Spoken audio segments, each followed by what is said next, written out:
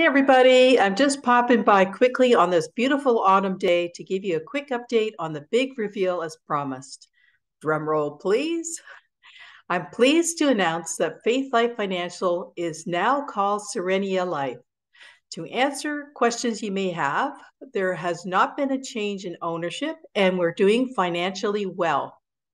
In fact, I'm proud to announce that the top five insurance companies were down in earnings in 2022, where Serenia Life has increased 25% year over year for the past three years. The name change comes from research that proves the new brand will allow us to attract more clients and, in turn, grow the resources of member benefits for you. We have the same Christian values with an emphasis on kindness and generosity. In fact, we have a contest.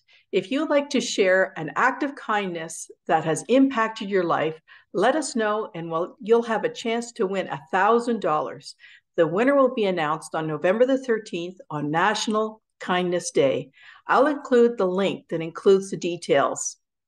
I'll also include the new Serenia Life branding video. So feel free to send me your thoughts. So I just want to close by saying that I'm thankful for the Lord's blessings in my life, and I want to extend a happy Thanksgiving weekend to you and your loved ones. Be kind, be generous. Bye, everyone.